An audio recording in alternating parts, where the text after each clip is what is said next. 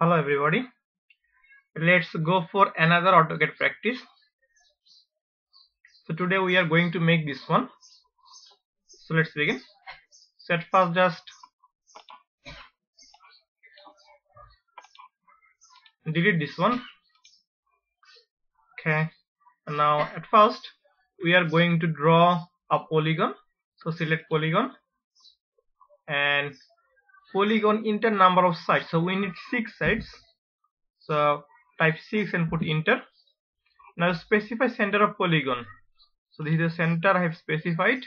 And we need circumscribe about circle so select this one. And okay. So change the line type. So it is by layer. Now will be the radius the radius will be 15 15 millimeter so enter okay so we have got our polygon. Now select circle and from the center of polygon draw a circle. The radius will, will be 15 millimeter. And repeat the command. And draw another circle of radius 10 okay now from by layer go to others click on load and I need center line. So I'm selecting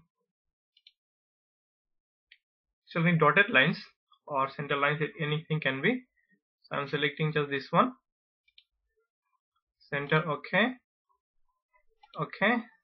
Now from here just select center line. Now select line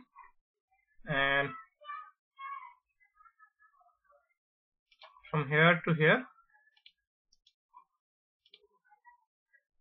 Okay so this one is not visible actually. So select delete this one.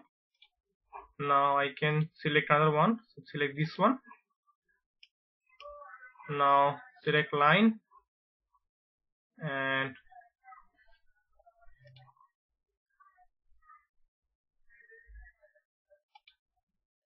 okay enter.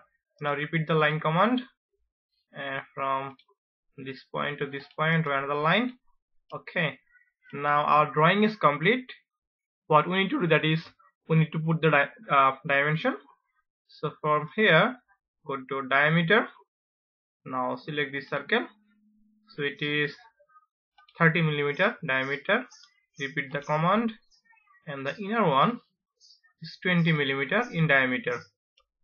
So we have completed our drawing and thank you for being with me and don't forget to subscribe like and share. Thank you